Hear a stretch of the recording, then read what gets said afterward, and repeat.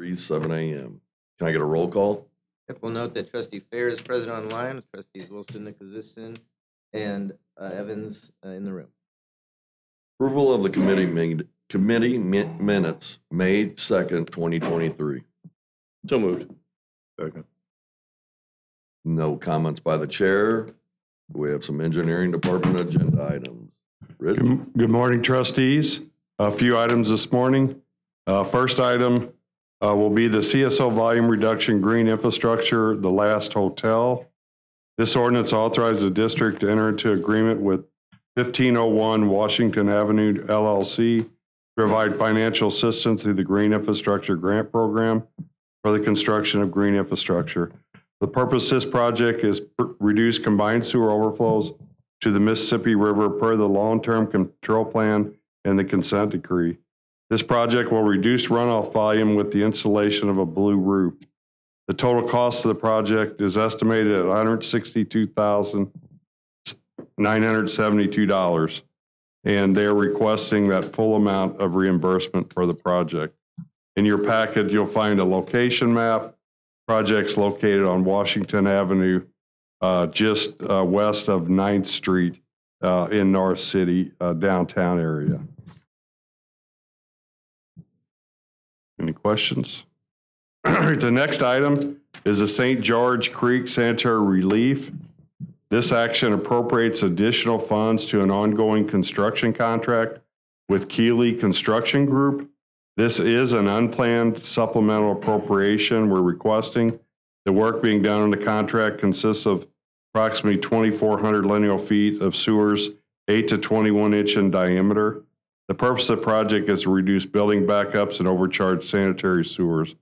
This project will provide for the elimination of one constructed sanitary sewer overflow. This supplemental appropriation of $100,000 is required to complete the construction due to some additional unforeseen costs for Class A excavation encountered uh, during construction in one of the tunnels that was constructed. And the added requirement by St. Louis County to replace streets along Weber Road uh, with eight-inch rigid base uh, pavement with an asphalt overlay.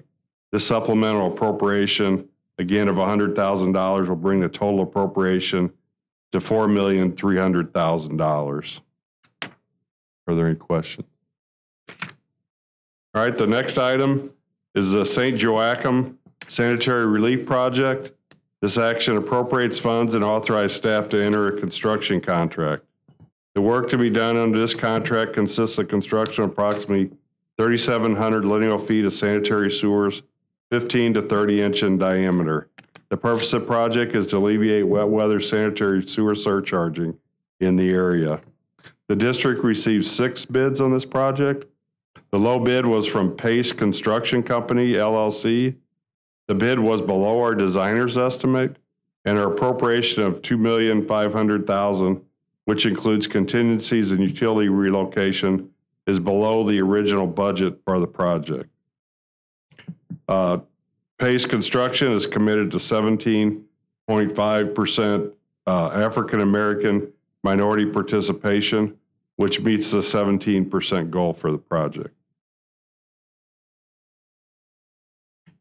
Next item is the Lemay Number Three Pump Station and Force Main Substation upgrade. This appropriates additional funds is now exiting. and authorize staff to enter into agreement with Ameren, Missouri, uh, as the funds are needed for this substation work. The work to be done consists of construction of a new Ameren, Missouri-owned customer substation. This work will be completed under an agreement with Union Electric doing business as Ameren American uh, Missouri Company, concurrently with the construction of the Lemay 3 Pump Station and Force Main project. This new customer substation will provide power to the Lemay 3 pump station and future facilities located at the treatment plant. This letter of agreement uh, is for a long lead time equipment. Uh, We're executing uh, the agreement in April of this year, and the equipment will be procured after this appropriation. The letter of agreement Uh, Payments are due in, in two parts. There was a previous supplemental appropriation in 2000 is now joining.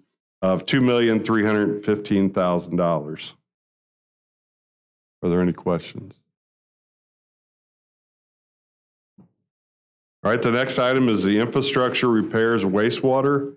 This uh, action appropriates funds for the small infrastructure repair projects to bid through our purchasing division. This is the annual dollar appropriation uh, for our small sewer repair contract for the fiscal year 24 year.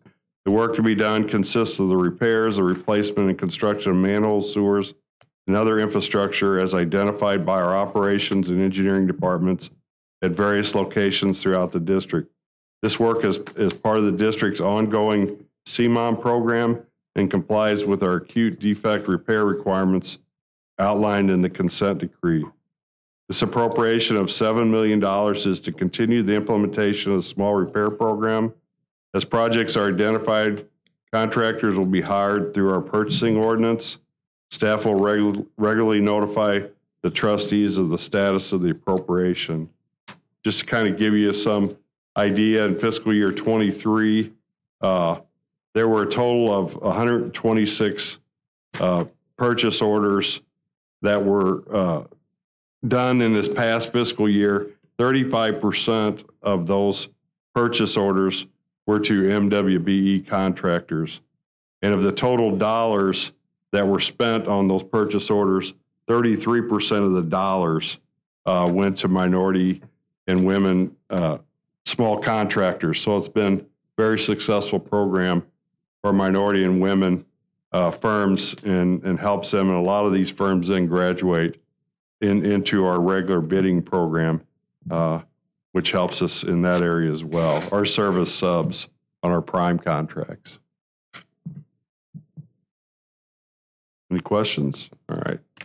And the last item is the Gravois Creek uh, to Briarstone and Gates Sanitary Relief Phase Two. This ordinance authorized staff to proceed with further condemnation efforts, including the filing of all necessary court pleadings or documents leading to the acquisition of permanent or temporary construction easements on five parcels of ground in the city of Sunset Hills and unincorporated St. Louis County. The easements and temporary construction easements are needed to construct the project, which consists the construction of approximately 4,700 lineal feet of 8 to 18 inch diameter sanitary sewers and appurtenances. Excuse me. Purpose of this project is alleviate wet weather building backups and overcharged sanitary sewers, and it will allow for the elimination of one sanitary sewer overflow. Uh, This project required 25 easements. Uh, When we started, 18 have been required so far.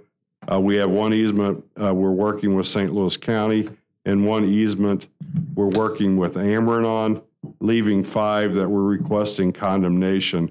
We continue to negotiate with the property owners, but are requesting uh, to be able to move to condemnation uh, to keep the project moving forward. Uh, In your packet, uh, there's some maps showing the locations of the properties. The first is uh, parcels 19 and 32. 32 is a small little wedge off to the left. Uh, As you can see, those aren't large easements.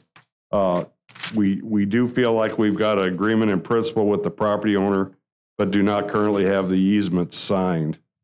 Parcel 28, uh, we've been trading offers with that property owner, uh, and they have not yet signed, but we're, we feel like we're getting close on that particular parcel. The next map uh, in your packet. Parcel 36. uh, As you can see, both of these properties are located right along Gravois Road. Uh, We have been in discussions with them, and we feel like, I think we've got the financials worked out with both parcels. We're in the process of working out agreements for both access and for uh, uh, parking. As you can see, they're right along Gravois Road, and they're both businesses, and we will be disrupting their parking at both those locations. So those can take some time uh, in negotiations, and we haven't been able to reach agreement. So we're just asking to go to condemnation to kind of speed the process up. Are there any questions? All right, that concludes the agenda items. Thank you, Rich. Um, There is no other business on the agenda. Next tentative meeting date is July 5th, 2023. Can I get a motion for an adjournment? So move. Second.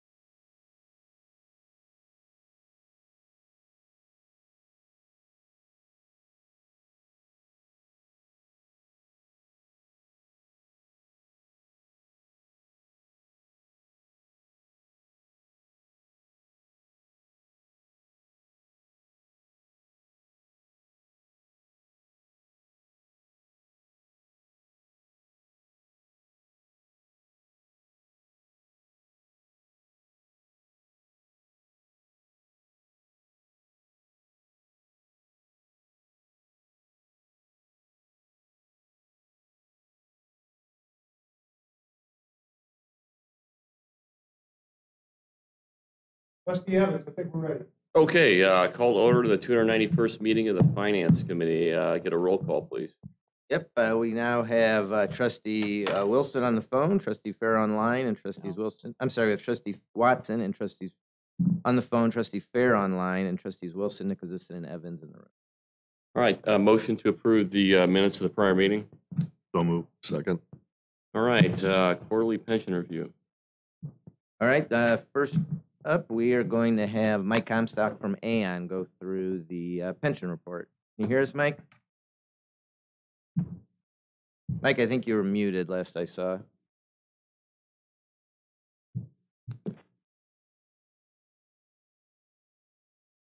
Tim, can you hear me? Yes, we can hear you now. All right. All right. Well, good morning, everybody. Uh, Yeah, I will, uh, I will run through this fairly quickly. I understand time is uh, uh, pressing, so I will start on page four and give you all a sense of market performance so you can better understand why the pension and um, DC plans performed the way that they did. Um, you know, overarching comments is the markets have been fairly decent over the last, uh, well, call it six to eight months or so, really from the fourth quarter of 2022, we saw equity markets uh, rally quite a bit, and that continued into the first quarter of, of 2023. And you can see some of the data on page four. Um, on the left-hand side, we're looking at the indices, um, whether they be equity toward the top or fixed income uh, indices as we go down the page, and then finally real estate. And for the first quarter of 2023, you can see global stocks were up about 7%. So continuing the, the strong performance that we experienced in the fourth quarter of 2022, uh, when equities are up seven and a half percent during that quarter. So a little bit of a, a little bit of a rally off of you know a really difficult 2022. You can see some of those 2022 numbers uh, uh, show up in that one year number. Right, the first nine months of 2022 was really difficult. You had equity markets selling off, you had interest rates rising, which pushed down the value of bonds. And we know that um, interest rates have been moving up because um, the Fed's been pretty aggressive in raising rates to try to get inflation under control. So obviously, it's had a pretty significant impact on on markets. But again, for the last two quarters, um, you know, we're we're looking we're looking pretty good as it relates to uh, as it relates to performance. Page five is just looking at sort of everything I just said, um, 2022 into 2023 for equities on the left and for um, yields on the right. And again, from the beginning of 2022, you saw equity markets sell off. Um, and around October of 2022, you see um, the lines start to drift back upward. Um, and not surprisingly, sort of a mirror image on the right hand side, you can see interest rates moving up. Now, when interest rates sort of topped out um, in October, you can see that rates move back down. You know, that was certainly part of why we've seen an equity market rally since then.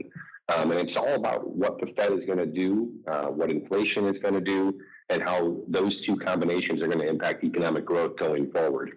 On page six, we sort of detail some of that and also bringing the, the question, um, the issues that we saw out of the regional banks that, that started in, in March. Um, you know, at the end of the day, you can see what our views were at the beginning of this year and what we were thinking at the end of March after we saw you know, these banks come under under stress and um, fear that you know some of these regional banks may not be sustainable going forward. But on the left hand side, can a global recession be avoided? You know, we would have said at the beginning of the year was that there's likely going to be some sort of growth problem in 2023. And as we sit here today, uh, we feel that there's more likely to be a growth problem in 2023. And a lot of it has to do with the banks and um, you know, credit creation. If you think about if you think about credit creation being impacted going forward and the stress and uncertainty that banks are under, well, the more capital that banks keep, the less they lend. So there's a direct impact on on how banks position themselves and how the economy grows through through credit creation. So on the on the bottom, you know, as it relates to the Fed, the Fed raised short-term interest rates to five, five and a quarter, uh, and they've done that aggressively again over the last year and a half or so. They're not going to stop until inflation's under control. And the latest CPI print uh, was at uh, just shy of five percent. So, you know, our, our core view X the bank issue was that the Fed's unlikely to stop, um, but as you know, credit creation could be impacted um, through through this banking crisis, we think that there's a greater chance that the Fed will pause, and maybe as early as June, um, you know, some of what's happened from the banks could take care of of economic growth you know, for the Fed. And if uh, the economy isn't growing as strong, you bet that inflation is going to come down with it, which is really job one of what the Fed's been marching towards for the last year and a half. So those are sort of big picture views. Um, there's a lot of slides after this that I'm not going to spend the time walking through, but if there's any questions on anything, it just sort of looks at the health of the economy, dives in deeper to the banking crisis, um, and then looks at how the market is pricing things in. But again, um, just kind of given um, given the shortage of time, I'm going to move ahead to slide 15, but I'll just pause for a quick second to see if there's any questions. There are no questions right now, Mike. Thanks. All right, that sounds good, Tim. So you shouldn't be surprised to see the pension plan perform well. Um, there's a good there's a good portion of the pension plan is within equities, and again, equities are rallying seven and a half percent uh, for the quarter. Um, you can see here what that's done to your first quarter return for the pension plan, up 4.6 percent, um, outpacing the policy benchmark by uh, 0.6 percent um, net of fees. Now, the one-year number is negative, and a lot of that is uh, the difficulties that we experienced in 2022. So, for the past year, we're looking here, I guess, from April 1st uh, through 331. Well, from April through September of last year, the markets were in, in a um, in sell-off mode as it relates to equities, and that's why you see the negative number trend. Um, it, that's why you see the negative number here for the uh, uh, uh, for the one year period because it, it's just showing the difficulty that we experienced in 2022. I'm going to go to page 17. And again, this is an important slide, just giving you a sense of if the monies are invested where they're intended to be. And you can see here the, the gray bars are the policy targets across various asset classes, and the red is where um, the actual asset allocation is. And we're fairly tight across the board. You know, real estate's one of the outliers. Um, this real estate allocation is down to seven and a half percent. We would expect that to continue to draw down. We're in an exit queue for the real estate manager. Um, it's just a uh, um, sort of an illiquid investment at this point, and monies are filtering in slowly. So you can expect to see the real estate allocation continue to continue to draw down a bit. Page 18 looks at the pension plan performance, top line, and then we get into the individual asset classes and underlying managers. And again, as said, this is a good quarter for um, for markets generally. So for your liquid equity and bond managers for the quarter, you're going to see some pretty strong absolute performance. Um, and again, that leads to the 4.6% pension plan return. And then underneath on um, on page 18, you can see um, your your U.S. equity portfolio across large cap, small cap, and then the international equity portfolio. And again, all posting very strong absolute performance um, you know, roughly seven, seven and a half percent or so on average for your equity portfolio. Page 19 looks at um, the remainder of the equity portfolio, the emerging market fund, and then um, the fixed income assets. And then you have your real estate portfolio, which stands at again that seven and a half percent. Real estate's come under stress of late. Um, generally speaking, um, you know, economic conditions tightening, interest rates moving up, um, thoughts about refinancing have all sort of been baked in the commercial real estate um, outlook, and it's impacting performance. And you can see that there. But one thing that is different, finally, you know, is um, fixed income. Uh, fixed income returned 3% in the first quarter. And again, rates have sort of steadied uh, of late, certainly through this quarter, but you have a higher yield finally, right? Fixed income investments are finally delivering something. Um, you know, with the, the 10 year treasury at three seven, you can get 5% going out just a few months on the treasury curve. So there's yield out there, and that's favorably impacting fixed income. And that's why you see a 3% return there. All right, I'm going to switch gears to the DC plan here. Again, I know I'm going quickly. If there's anything, just please, uh, please stop me. But page 21 is looking at in aggregate your DC plans um, over $113 million now in these plans. The majority of, of that money, uh, 40% or so, uh, is in the target date funds by Vanguard. And we think that's great. We think this is where the majority of investors should be. These target date funds have a risk profile that lines up generally with the average person's age or when they're trying to retire. So the 2060 fund, as an example, is for someone that's probably going to retire in the next 35, 40 years. It has more equity exposure than, say, the 2025 fund, which is designed for someone that's um, approaching retirement and has significantly more fixed income, um, a safer risk profile. And the performance lines up as we would expect. These are index funds, so we're not trying to beat the benchmark. Um, but in this particular quarter, the more equity exposure that the funds had, the better they did. Equities outperform bonds, and that's why you see the longer dated funds performing better than the shorter dated funds in absolute terms. Page 22 is looking at uh, what we call Tier 2 and Tier 3. Tier 2 are the passive funds managed by Vanguard, and Tier 3 are the active funds. And know, pretty, pretty decent results, some, some very large numbers out of a couple of these managers. Um, the growth oriented strategies, um, Vanguard US growth was up 15.8% in the quarter, and then Vanguard International growth was up 12.5. Um, after difficulties for technology in 2022 with rates going up, that particular sector has done uh, relatively better than the rest of the market of late. Um, and that's why you see these growth funds, which tend to have more technology exposure, uh, doing better than the rest of the funds in the portfolio. And then the all important fees on 23 and 24. These are the last two slides I'll cover, but this is important just to make sure that we understand what is being paid for investment management fees but then also, how is that relative to what we see out in the marketplace? And, we put together this universe uh, peer comparison for you to give you a sense of, of how that stacks up. And on the left-hand side of page 23, you can see all the funds in the pension plan, and then sort of in the middle, the fund expense ratio, uh, and then how that stacks up to the universe median. And things, things look pretty good here. Um, you know, we would we would look at this and say that the fees are reasonable uh, for what you're getting out of these out of these active uh, and passive strategies. And then page 24. Um, again, you, you, probably read all about the, the lawsuits within DC plans for um, fees being too high um, and participants, you know, hooking up with with law firms to to sue plan sponsors. And you know, a slide like this and a program like what you have gives us comfort. Vanguard, as you know, is a low cost provider, but here you can see just how low the costs are across the board.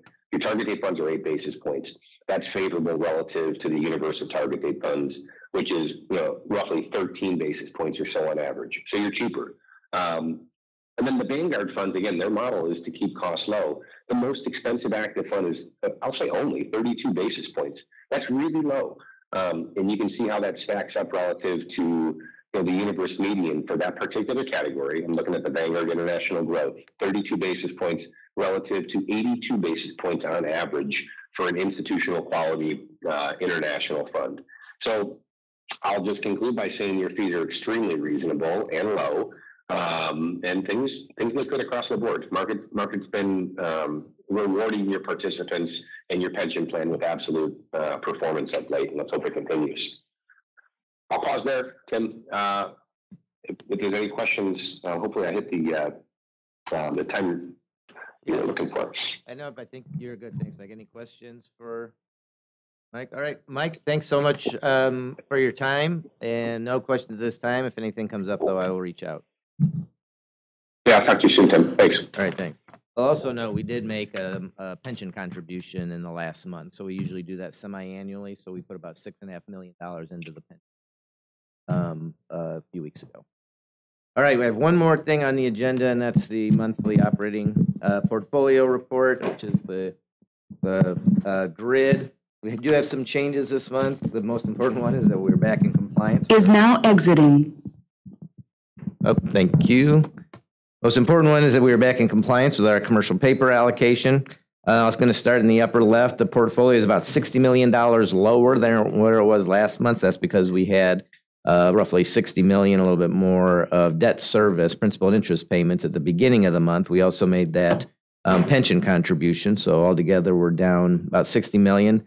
Yield to maturity is up 24 basis points, so a decent uh, gain in our yield to maturity. Um, some of the maturities that expired, some of the debt that came due to pay the debt service was uh, had a lower rate on it, and then the new um, stuff that we put to work um, was around five percent, so higher than the benchmark, which stayed the same at 426.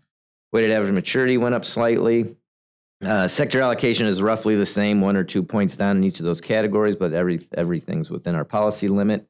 Then on the fund summary, we can see those balances for everything except the operations continue to drive lower, although actually operations was down 50 million as well. Um, uh, the yield to maturity is up because of uh, turnover in the investment portfolio and the higher rates we're seeing in the market. And then on the maturity distribution, you just see a comparison there versus the benchmark. Um, We're roughly in line with where we usually are, just some small changes a month over month, just a few, uh, a few basis points. Again, we have a whole bunch in that zero to one year, roughly half our portfolio, because we do use it for operations and paying projects.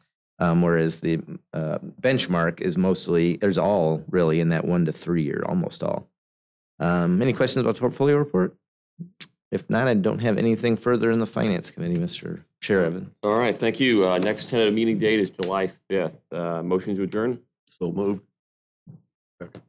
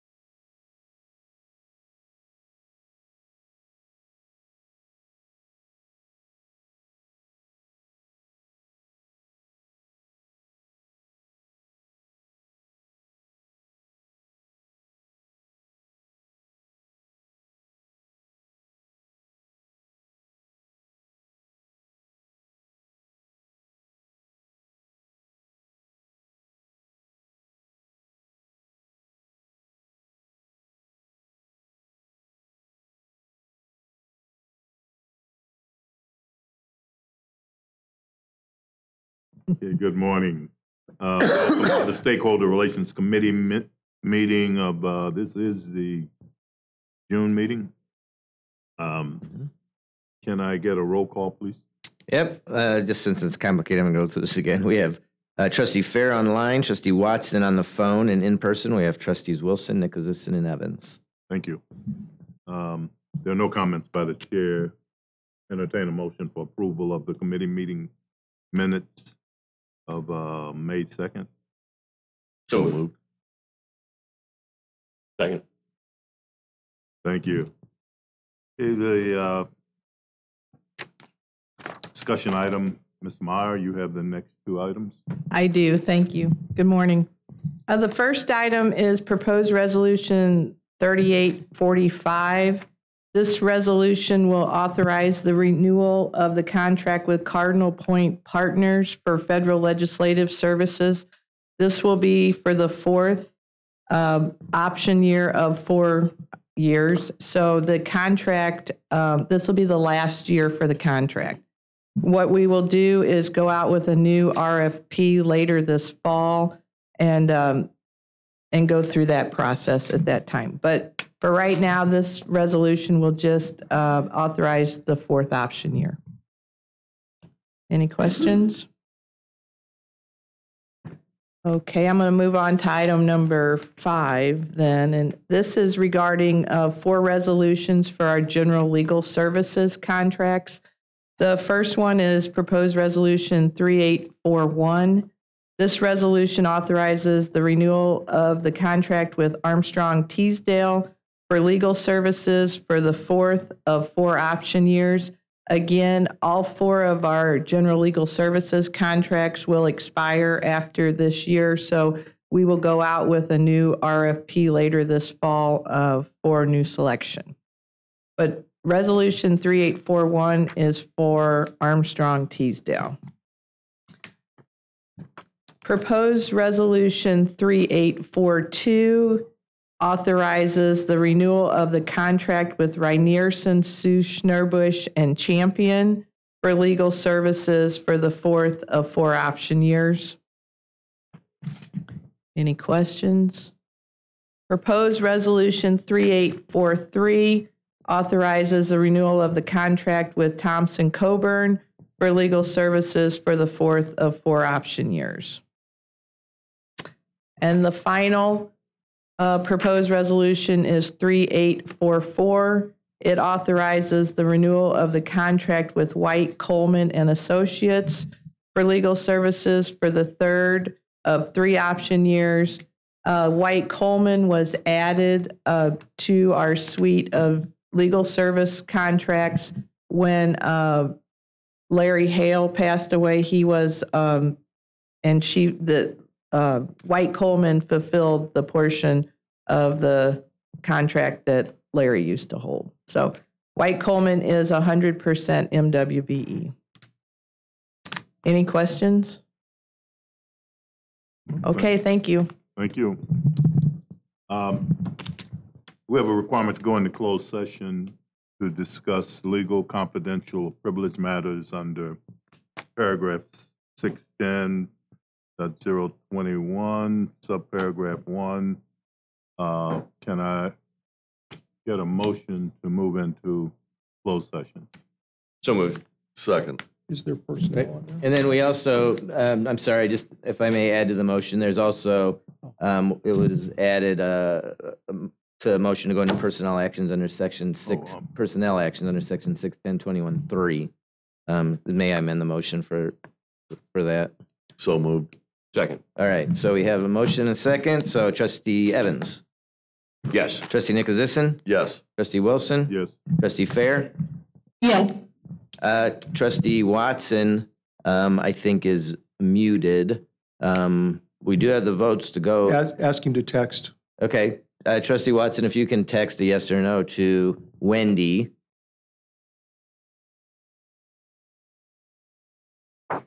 Uh, it will not, all right, he says yes, so, um, we are now in closed session. For trustees Fair and trustee Watson, I believe Wendy sent out a link to a new closed session meeting. So, We're going to move next door, folks, um, 110. please, uh, check into that link and, and we'll have that set up shortly. Thank you.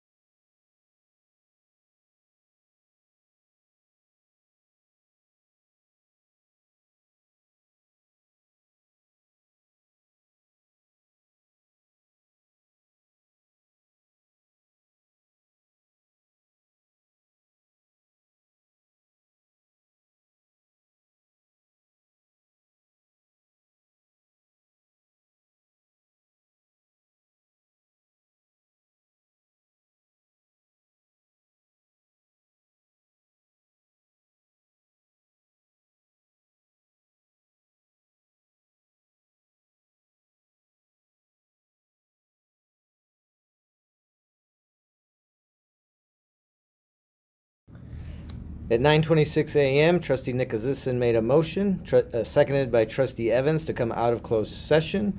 The board voted unanimously uh, to come out to approve the motion. And then at 9:27, Trustee Wilson adjourned the open meeting and ended the committee meetings.